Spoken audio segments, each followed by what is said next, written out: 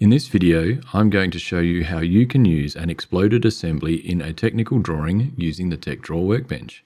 Then I'll show you how to insert the technical drawing into a document. The type of document doesn't really matter in this instance, but it could be a plan, a proposal, or etc. I'm going to use a draw model that I created for the introduction to the exploded workbench in this video. I've linked to the video demonstrating how to create the exploded assembly if you'd like to check that one out first. The technical drawing will include a parts list and callouts linking to the parts list. If you'd like to support my work, please consider buying me a cup of coffee. Your donation will help to improve the channel. Now let's get started. The first thing we need to do is create a blank page for the assembly. I'm going to use a blank page because it can be added to a document in a word processor. You can choose a template with a title block if you wish, because the steps shown in this video are not dependent on a blank template being used. Now I'll switch to the TechDraw workbench and create the blank page using the A4 landscape blank template.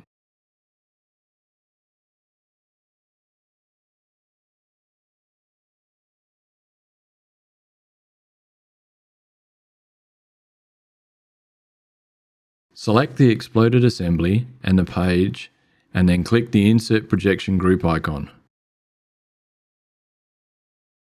Set scale to custom and the custom scale to 1.5. Then click the OK button. You'll notice that only the trajectory lines are displayed. Obviously, this is not what I want.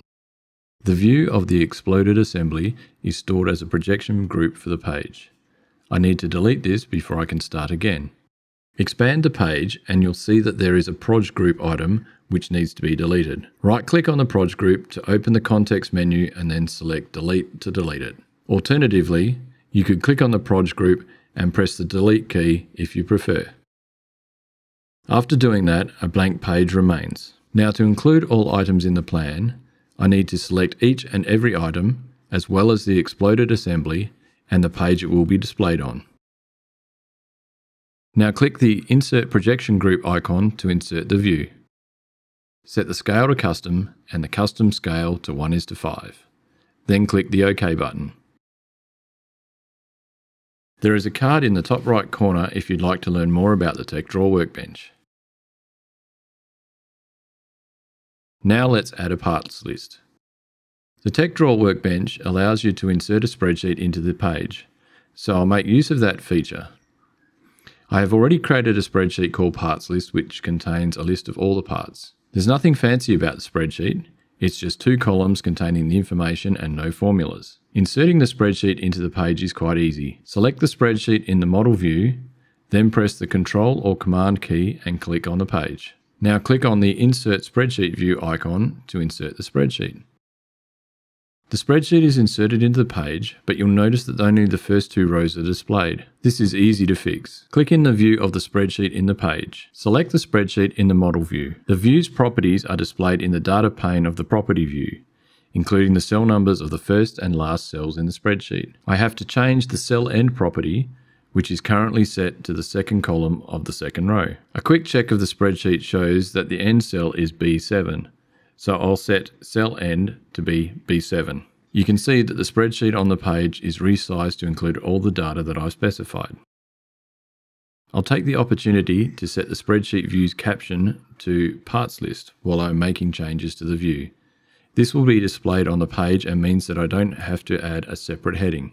Now I'll start adding callouts which link the parts to the spreadsheet. I'll start off by placing part numbers, then draw leader lines. I'll start with the draw front and I'll use the Insert Rich Text Annotation tool. I don't use the base feature and skip straight to starting the Rich Text Editor. Click on Start Rich Text Editor to edit the annotation text. The Rich Text Editor allows you to edit text as though you were using a lightweight word processor.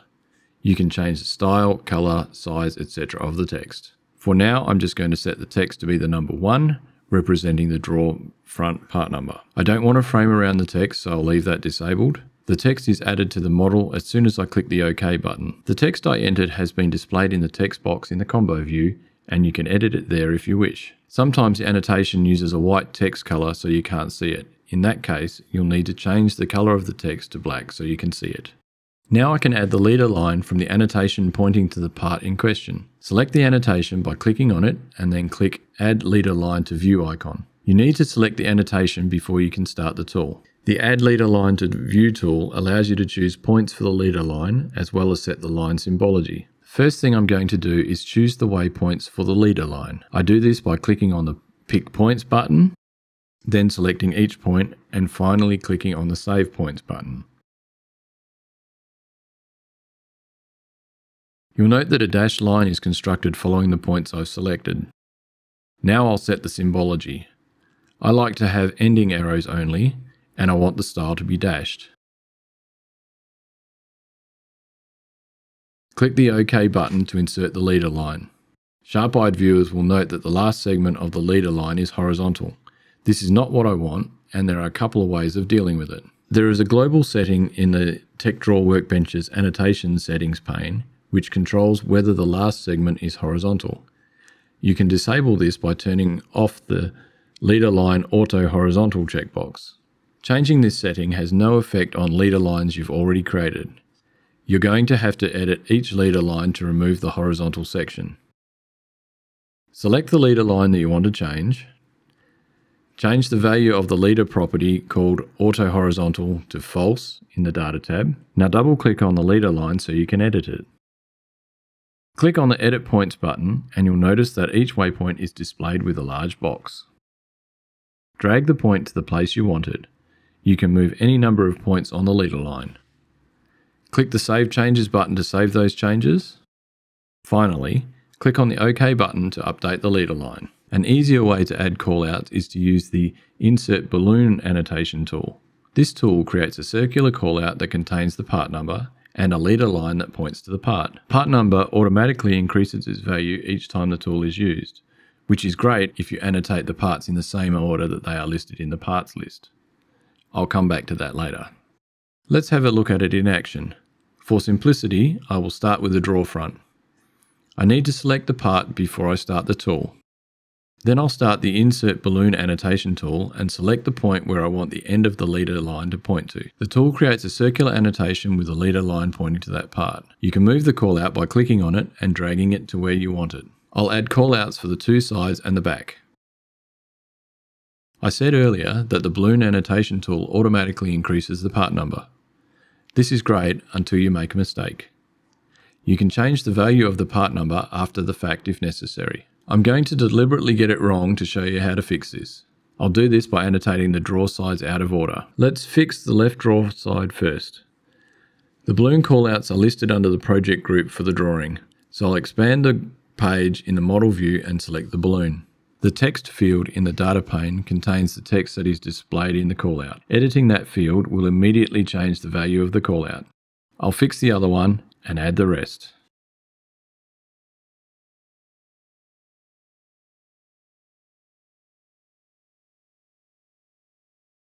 For the purposes of this video, the drawing is at a point where it could be inserted into a documented plan. The drawing needs to be exported before it can be used in a document.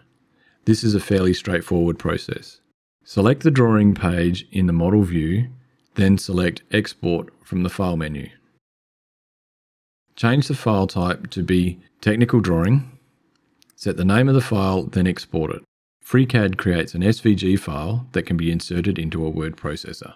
Now I'm going to show you how to insert the drawing into a document using LibreOffice. I presume that it also works in Microsoft Office, but I haven't tested it, so your mileage may vary.